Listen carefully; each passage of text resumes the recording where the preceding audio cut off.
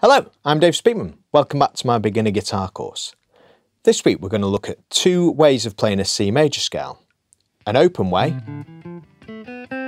and another way in a position. So the first way we're starting with the third finger on C and we're going C, then D, then E, then F, G, A, B, and finishing on C.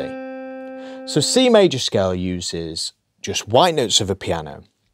So there's the key signature of C major is that there are no sharps or flats. So on a piano, that means that you don't use any of the black notes.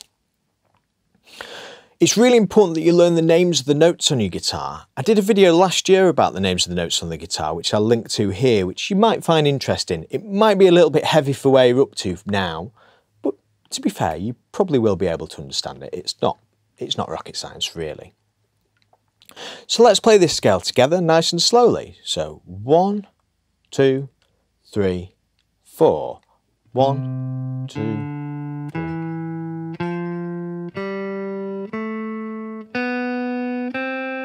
Okay, let's do that half that speed. So I'm going to play it as if they're minims. So one, two, three, four. And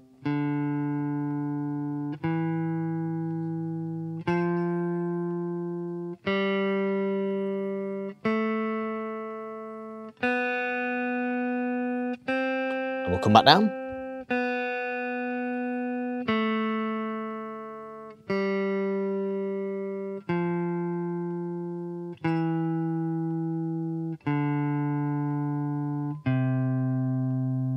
Cool. Great. So hopefully you can follow that. Let's play it at the speed. So we're just playing it now at 60 beats a minute as crotchets. One, two, three, four. One.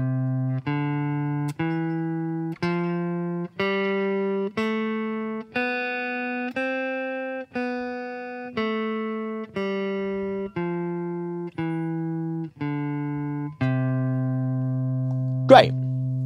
That's the first thing to get together before you move on to this next thing, I would say.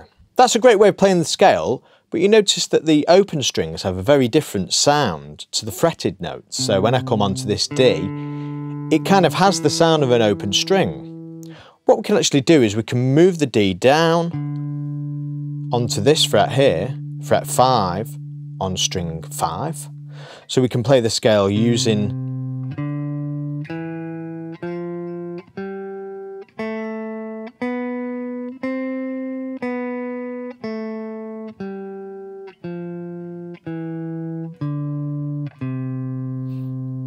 try and get this so that you can play it at this speed, really.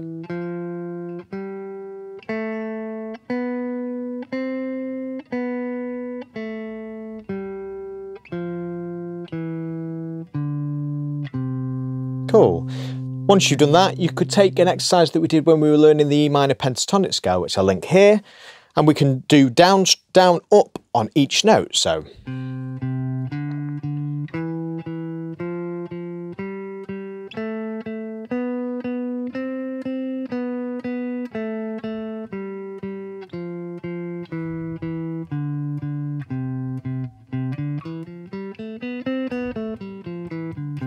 That's probably a little bit quick to play at this at the moment, but that's what you're looking to do eventually, I guess. Now, the great thing about this shape that we've just learned is that this can be moved anywhere on the guitar as long as we keep the root, the note that the scale's named after, on the fifth or sixth string. So if I want to play a G major scale,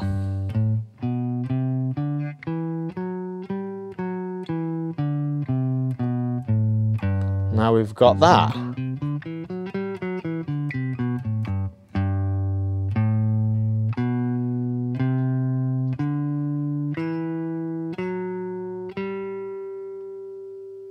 Does that make sense? If it doesn't, just leave me a comment below and I'll try and get back to you. Do subscribe to the channel. It really helps me out with what I'm doing. I've got lots more ideas for other content coming. So subscribe, stay involved with everything. Do give the video a like as well. It really helps me out. I can move this scale around. So say if I start here, then it becomes a D major scale.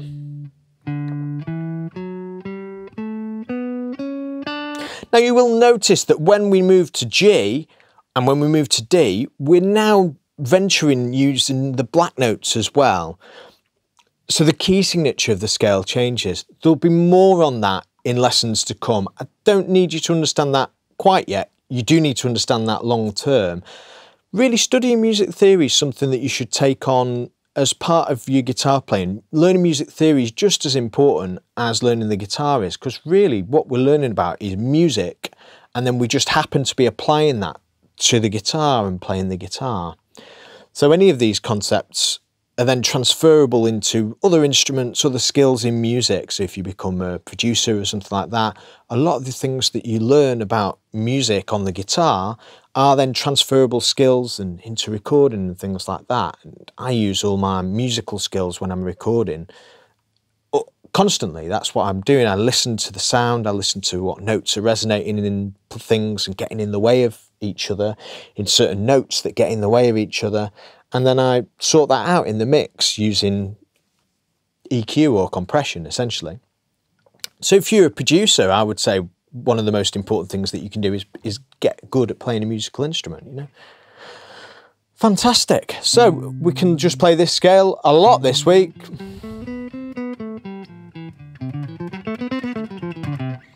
So we could just play this scale a lot really mm. and get it so that we can play it nicely.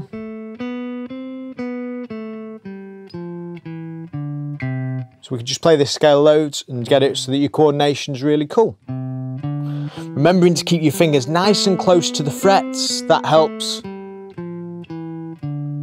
That means that you can be lighter with your touch and your coordination is cleaner. You don't have to push down as hard so you can play it faster. Great. So keep practicing that. You don't need to be able to do it as quick as that, but you know, it is a really important exercise to keep doing. Do go back to previous videos, there's a playlist here that you can follow, subscribe to the channel, write me some comments let me know how you're getting on with things. Is there anything that you don't understand about these scales? Is there anything that you don't understand from previous videos? Anything that you need explaining in more clarity?